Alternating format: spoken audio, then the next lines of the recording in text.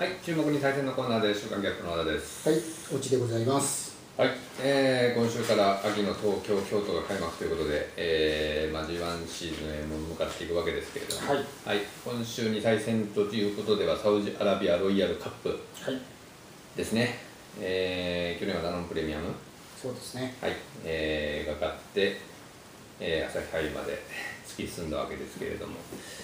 はいえーまあ、今年も東西から、はい、素質馬揃いましたね、うんそうですね。はい、いい勝ちっぷりをした馬たちが各場で、うん、揃った感じですけど、まあ、とりあえずはグランアレグリアということになりますかね、はい。平面から行って、まあ、東京の開幕週、日曜日でしたけど、はい、1分33秒6、これはなかなか2歳戦ではお目にかかれない新馬戦でね。そうですね。はい。特に6月の新馬ですからね。そうですね。ちょっと一頭だけ3歳馬がいるんじゃないかと思うぐらいうんスケールの違う走りでしたね。そうですね、まあ、時計目はちょっと高速馬場っていうね、あ安田記念の時計見てもそんな感じでしたけれども、えーこれが一応去年のサウジアラビアロイヤルカップでダノンプレミアムが、はい、えー1分33秒0で走ってるんですね、確かね。それにコンマ6秒なので、うんそれを初戦、6月の2歳戦で出すっていうのはね、なかなかできるゲートじゃないと思います。えーまあ、どうですか？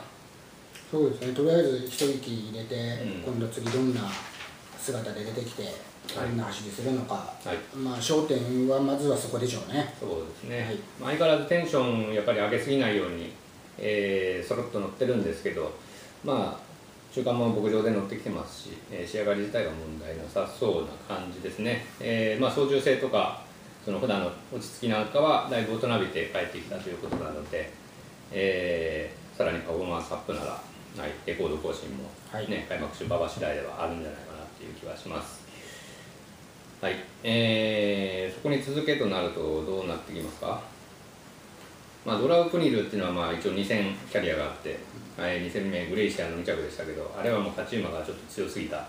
ケースはい、ですけどこの馬もやっぱり鉄頭馬だなっていう走りは見せたそうですね気がし。ますね。えーまあ、これはモレイラク州なので、えーまた違った面を引き出すかなというところが注目ですね。はいえーそれから何ですか、新潟で勝ち上がった組が結構いますね。はい、中ではアマーティが良かった気がします。はい、まあ、こちらも牝馬なんですけど、はい。えー追ってすごくしぶとく長く足使うなという印象、うん。まあ、ルーラーシップらしいのかなというはい。感じで、まあ、それでも33秒台の足使ってますね、初戦で、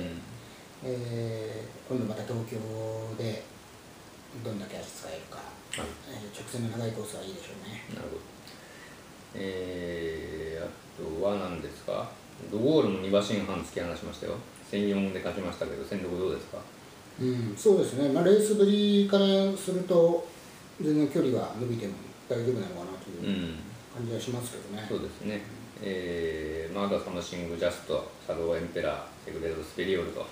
まあまあ、いいメンバーかなという気がしますので、はいまあ、グランアレグリア中心に、ね、なるのかなという気がします、人気はね。はい。まずはここに注目したいと思います。はいえーで、3日間開催ということで、新馬は、えーいっぱいあるんですけど、まあ、東京でいうと、どうですか、まずは注目はピンシェルということで、よろしいですかね？はいはい。えー真ん中の日ですね、日曜日の芝 2000m はい。でデビューします。はいえーまあ、メジロドーベルの最後の子供いということで、もう春先からね、結構うん評判になっていた馬ですけど、はいまあ、一旦夏場に入厩して、えーでもそこでは慌てずね、うんえー一回放牧出して、またこの秋に精進定めてきたとはい。いう感じですね。はい。えー、2週前に販路では追ってそこでかなりいい時計出てさすがだなとうん。いうところを見せて、はいえーで1週前は今度は初めてウッドコースでやったんですけど、えーここでもまた、うんえー、8の昇級再現7点うん。動き見せましてねねポテンシャルは相当なものがありそうだなとはい。いう感じですね。はい。まあ、この一族は、まあ、順調にいくことがまずはね、えー、先決なんですけど、これほど順調にいくのはなかなか珍しいというかね、気はしますね。えーで、横山典弘騎手、えーとコンビ組むことになって、その1週前で初めてコンタクトを取ったわけですけど、まあ、あのおとなしくて、うん、悪くないとデビュー前としては、えーまあ、顔はドーベル色はライアンみたいな表現をしてましたね、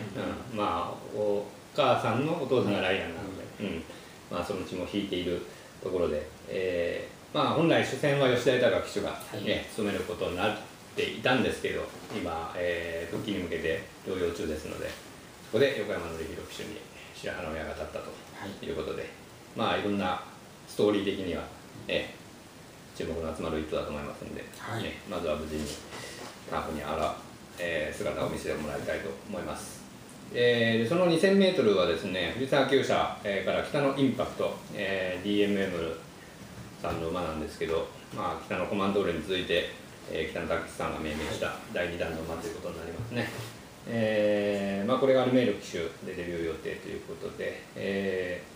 ー、まあこれも再入球の形なんですけど、うん、一人ごとにどんどん良くなっているということで、はい、距離は長い方がいいと思います。それから堀厩舎からは、えー、ダノンラスター、えー、これがディープインパクト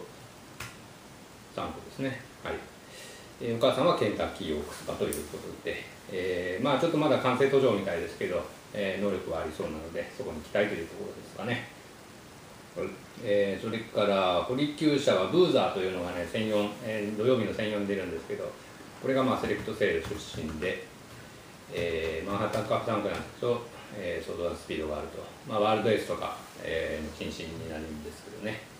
まあ、これは、えー、初日から注目のことかなと思います。はい、はい。はい。えー、で京都もいっぱいあって、まあ、羅列というか、まあ、バンバン行ってきますけど、まあ、まず土曜日に戦六の牝馬限定があって、えー、藤原秀明厩舎里のアクシスディープインパクトタンクこれがセレクトで1億5500万円、えーまあ、バネのある走りするということで福永騎手、えー、それから友道厩舎またディープインパクトタンクでランブリングアレこれが当選ラーとかスピルバーグの謹慎ということになりますね、はい、で浜中騎手、えー、それから松永幹雄厩舎ゲンティアナこれもディープインパクトタンク、えー、菅野はすごく素直で初戦からと、えー、あとは菅井厩舎アルポルトそれからルーラーシップ3区でビクトアルピンサーとかの金水になるんですかね、えーまあ、陣営も走りそうな雰囲気あるということで、えー、北村雄一騎手あたりが人気かなという気がします、えー、それから同じ日ダートなんですけど専用のクイーンズローズ平田厩舎これは KI ノーテックの、えー、はい、半枚ということになりますかね、まあヘニーヒューズに父は変わったのでいかにもダートはいいんじゃないかなと、えー、女の子なんですけどお兄ちゃんリピンバーさんでしたっけ、うん、より馬格あるという。ことで、うん、やっぱりまた後がいいでしょう、はい、これは福永騎手です。それから10月8日だから月曜日、えー、これが1008がありますかね。これが池添学厩舎タンタラス。これがブエナビスタの3番子、うん、えー、ということで川田騎手でデビュー予定それからおとなし厩舎のミッキー・バディーダこれがディープ3区でダノンプラチナのゼンマイ。えー、当初はまあ戦力、えー、土曜日の戦力を視野に入れてたみたいですけど、まあ、距離は長い方がいいということで先月の方に向かうことになりました。で松山騎手ということで、えー、いっぱいいます。関西は。はい、えー、まあ東西で、えー、両決が続々とデビューしますので、えー、この秋はそのあたりも楽しんでいただけたらと思います。はい、はい、ということで以上です。